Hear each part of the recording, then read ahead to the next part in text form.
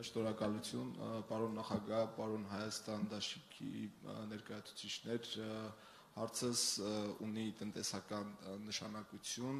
Կարճևան գյուղի բնակիչ եմ։ Կարճևան գյուղը ունի երկու ճանապարհ, մեկը որը կապվում է Ագարակին, մեկը ասֆալտապատ է, մյուսը ոչ, սակայն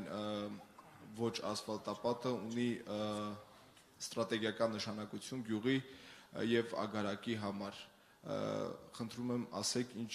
լուծումներ կարող եք առաջարկել, եթե թույլ կտակ երկրորդ հարցնել։ Առաջի հարցով մի հատ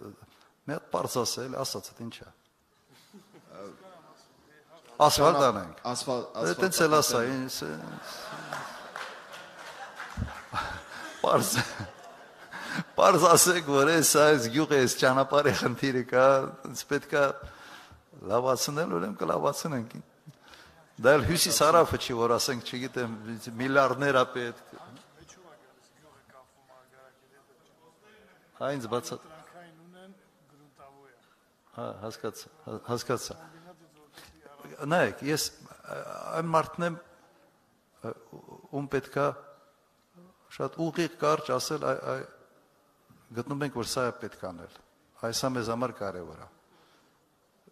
Հարցը այնպես մի տվեք, որ ես կեմ ենթադրել, թե ինչ են ուզում ասել, սա են ուզում ասել, թե նա են ուզում ասել։ Ինչքան քիչ ենթատեքստեր լինի իմ հետ շփումների մեջ, այնքան լավ։ Այնքան ձեր հարցերը ավելի շուտ ալուծվելու։ Եղավ։ Հասկացա, հիմա երկրորդը։